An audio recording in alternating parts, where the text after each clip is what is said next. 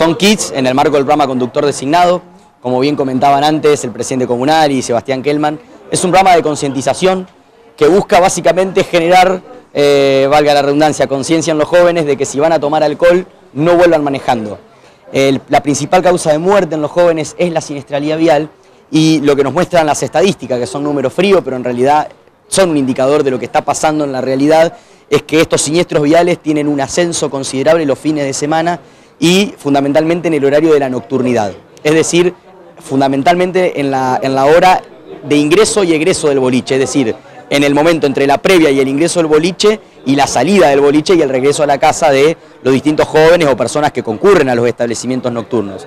Desde el 2013 eh, estamos trabajando con este programa que en el 2016 empezamos a sumar localidades eh, por una decisión política que tomó el gobernador de la provincia, Miguel Lifchitz, y hoy tenemos más de 40 localidades adheridas en toda la provincia. Ayer se adhirió Gato Colorado en el extremo norte de la provincia y hoy por gestiones de Juan Cruz Cándido, del presidente comunal, eh, vinimos acá a Empalme Villa Constitución. Yo lo que quiero aclarar es que esto, lo que nosotros vamos a traer acá, el kit, son alcoholímetros, el nuestro, el de conductor designado, amateur, didáctico, no es para hacer una multa. Hoy también venimos a presentar un alcoholímetro sí de verdad, sí para los que sirven para hacer controles y multas, porque son distintas etapas de la política de la seguridad vial. Esto de que el Estado quiere recaudar no es así, no es así. Primero hay una etapa de concientización, que es conductor designado, talleres que damos en la escuela, en instituto terciario, y después la etapa de la sanción. Y hay otra etapa que es muy importante, la obra pública. Nosotros con la provincia, en el gobierno de la provincia de Santa Fe hemos hecho obras muy importantes en el departamento de Constitución. El puente de la ruta 21, la conexión de la ruta 22S en Uranga y La Vanguardia, eh, las obras de pavimento aquí que se están dando en Empalme, de calle de Urquiza, de calle Sargento Cabral, en fin, un montón de obras que estamos haciendo y que eso también ayuda mucho a la seguridad vial y a revertir esta realidad que tenemos, que la estamos revirtiendo de a poco.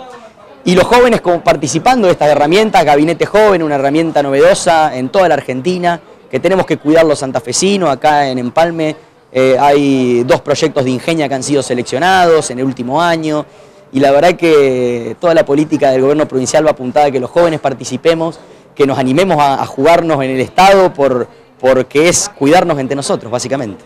Por último, ¿cuáles son las principales recomendaciones para todos los jóvenes que conduzcan, sobre todo en dichos horarios?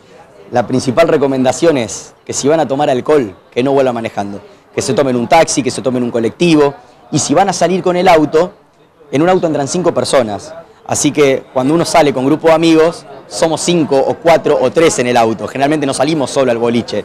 Bueno, vayámonos turnando un fin de semana uno, un fin de semana otro, y nos aseguramos volver tranquilo a casa.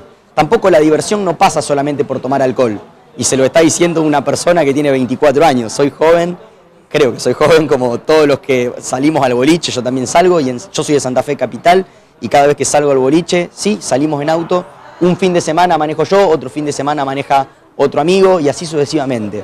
Y si te pones a pensar, es una vez cada un mes y medio que tenés que manejar y ser el conductor designado. Acá queremos generar la figura del conductor designado, básicamente. ¿eh?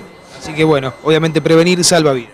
Prevenir salva vidas, no tenga ninguna duda, y también no solamente la vida nuestra y de nuestros amigos, sino de los que vienen circulando por adelante. Porque para terminar, en el verano salimos acá a Villa Constitución, volvemos por la autopista, supongamos, o vamos a Rosario volvemos por la autopista.